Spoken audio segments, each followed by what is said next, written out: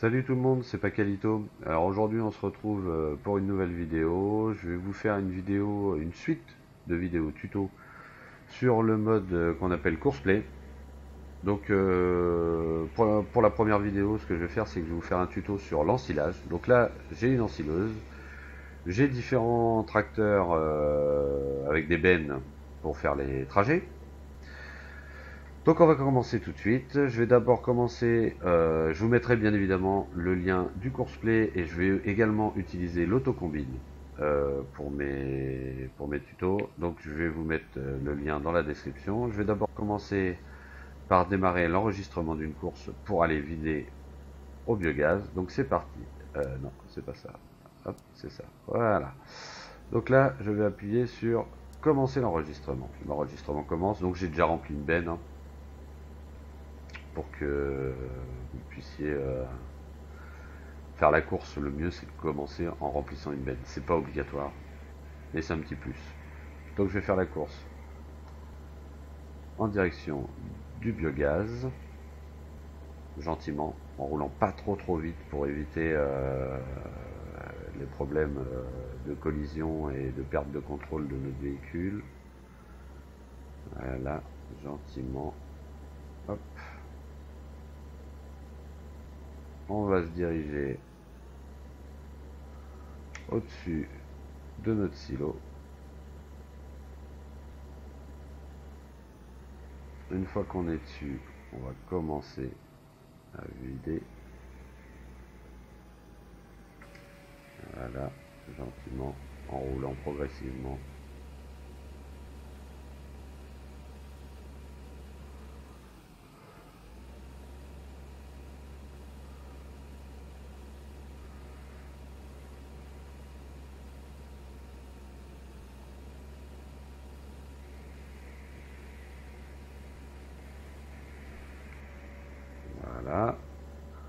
On repart en direction du champ. On va passer par là.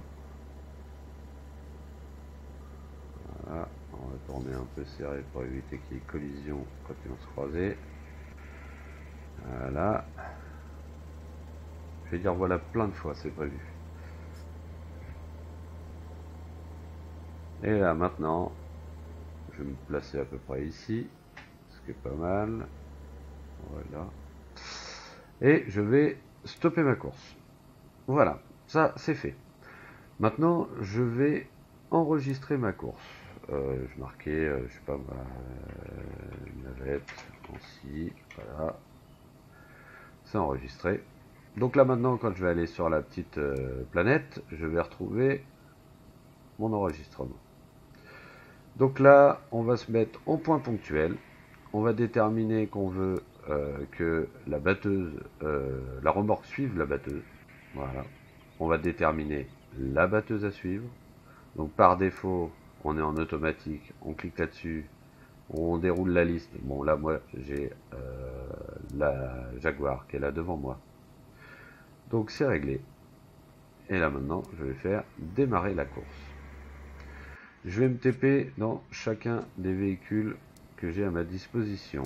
Je vais charger la même course, lui donner le même travail en point ponctuel, lui donner la batteuse que je veux utiliser et démarrer la course également.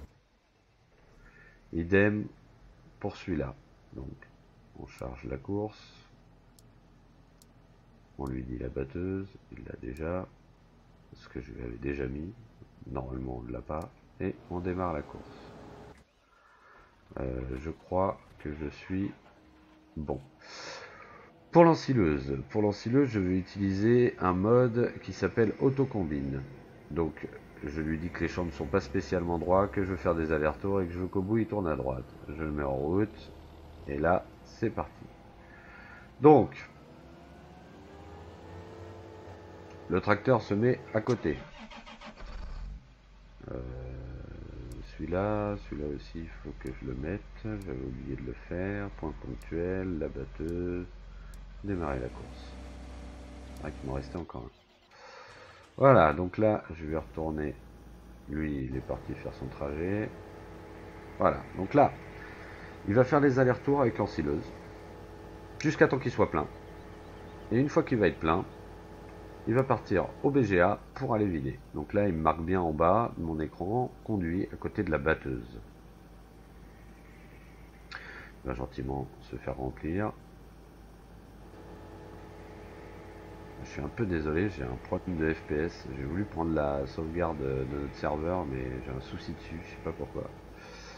Et même quand je joue en solo, j'ai le même problème de FPS. Enfin, logiquement, ça devrait pas trop trop gêner euh, pour, euh, la, vidéo, mais ouais, je, tourne à 15 FPS. Et je sais pas du tout pourquoi. Donc là, 50%, euh, ça devrait pas tarder à... On va attendre gentiment qu'ils se remplissent, on va pas faire d'ellipse, hein, c'est pas la peine. Je vais essayer de vous faire des vidéos courtes, parce qu'après je mets énormément de temps à les envoyer et euh, ça me pénalise dans, les autres parties. Donc là vous voyez, euh, l'autre tracteur derrière commence déjà à venir se placer derrière moi pour se préparer à récupérer, récupérer la suite. Alors j'ai un tracteur qui est coincé, lequel c'est? C'est lequel qui est coincé? Ah ouais d'accord, c'est parce qu'il est derrière l'autre.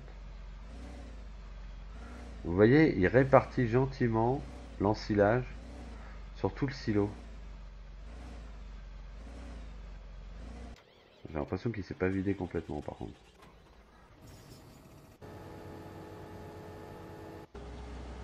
Ah, il s'est pas vidé complètement. Il reste 11%. ça, je sais pas pourquoi il m'a fait ça. Normalement, il se vide complètement.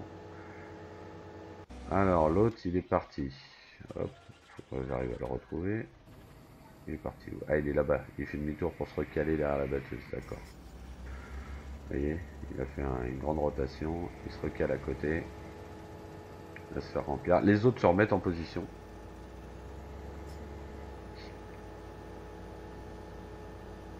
Voilà, donc il ne devrait pas tarder à être plein.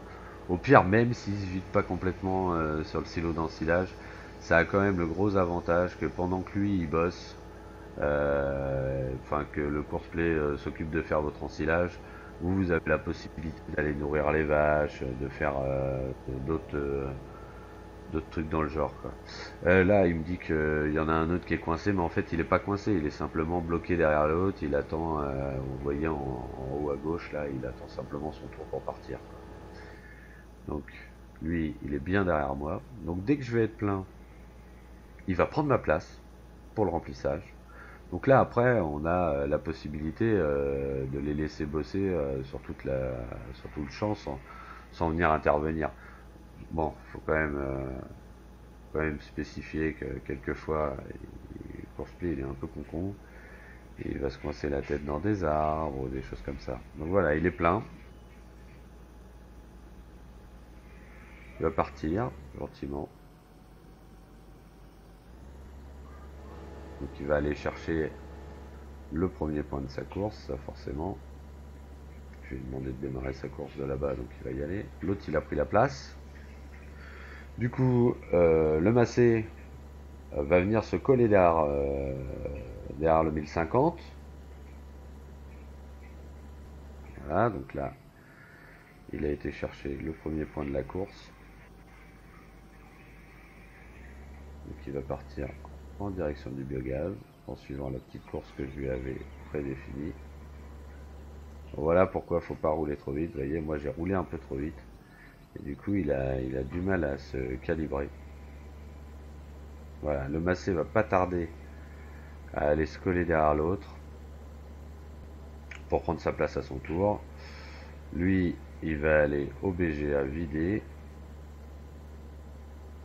Bon après, euh, j'aurais pu utiliser euh, le course-play pour euh, moissonner les champs au lieu d'utiliser l'autocombine. Mais je trouve réellement que il n'a pas le même, il n'est pas aussi doué que l'autocombine pour, pour faire l'ensilage ou la moisseau. Je trouve vraiment que l'autocombine est, est meilleur. Voilà. Donc voilà la raison pour laquelle j'utilise l'autocombine. Le, le courseplay, il a tendance à oublier des angles, à faire un peu, un peu Donc là, il va commencer à vider s'il veut bien, bien évidemment. Voilà, en répartissant gentiment l'ensilage sur tout le silo. Après, effectivement, si on le fait nous-mêmes, c'est plus rapide. Mais bon. C'est son boulot, quoi. J'ai un peu peur qu'il vide pas tout, par contre. Alors peut-être que pour utiliser cette méthode-là, faut prendre des euh, remorques avec un peu moins de contenance et il est peut-être un petit peu plus programmé pour euh, des remorques de base du jeu. Et là, on a vraiment euh, des gros volumes, c'est des modes. D'ailleurs, c'est les modes de notre serveur, hein, notre partie en multi. D'ailleurs, vous pouvez toujours nous rejoindre sur Twitch le soir. on est en live. Vous avez le lien de ma page Twitch en haut de ma chaîne YouTube. Et il y a le Facebook des fermiers du dimanche. Bon, bah non, visiblement, euh, il s'en sort pas trop mal. Il va peut-être repartir avec 11%.